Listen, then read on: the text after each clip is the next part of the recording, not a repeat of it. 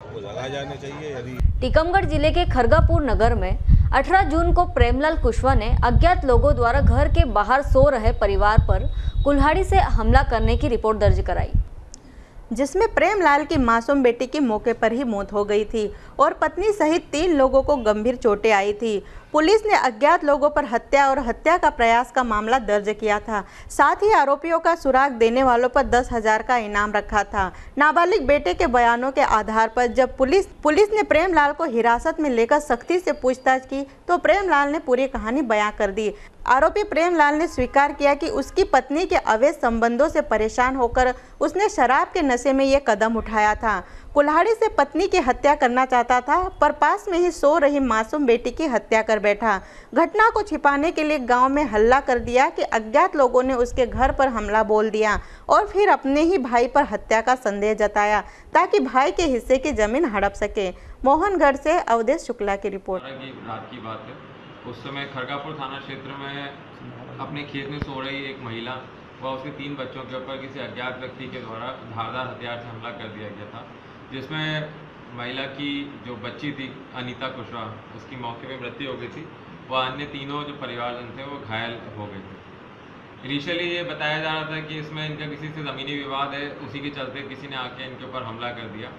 परंतु जैसे जैसे तफ्तीश आगे बढ़ती गई और जो चश्मदीद साक्षी निकलते आते गए, उनसे ये निकल के आया कि जो मृतिका थी, अनिता कुशवाहा, उसका पिता जो था, प्रेमलाल कुशवाहा, वो इस बात से शुभ था कि उसकी पत्नी मिथिला कुशवाहा का एल कंपनी में जहाँ पे काम करते थे, उसमें वहाँ पे उसका किसी के साथ अवैध संबंध था।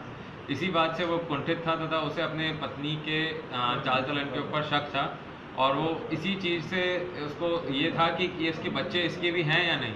इसकी कुंठा का जो लेवल था, वो इतना ज़्यादा हो गया था कि जिस दिन घटना कारित हुई, उस दिन ये अपने माँ, अपनी माँ तथा एक पड़ोस की महिला को खरगापुर से लेके आया, उनको छोड़ा रात के दस बजे करीब। फिर इसने खूब शराब का सेवन किया।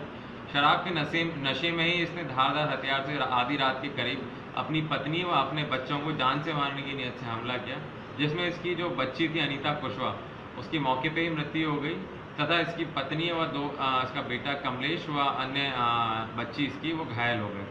बीच में इन लोगों ने इसको ज़मीनी विवाद का रंग देने की कोशिश करी परंतु तफ्तीश करने में पाया गया कि इनका ऐसा किसी से भी ज़मीनी विवाद नहीं था। साथ ही साथ इन्होंने अपने ही प्रेमलाल कुशवाहा जो है, इसने अपने ही भाई को फंसाने की भी कोशिश करी ताकि बची हुई कुछ जो इनकी ज़मीन है, उसको भी अपने कब्जे में ले ले। मगर जब चश्मदीद साक्षियों की तफ्तीश की गई तथा आरोपी प्रेमलाल कुशवाहा से भी हिकमत अमरी से पूछताछ की गई तो इसने अपना जुर्म कबूल लिया। तथा इस प्रकार एक साल पूर्व हुए इस नशल हत्याकांड का खरगापुर पुलिस ने खुलासा किया है।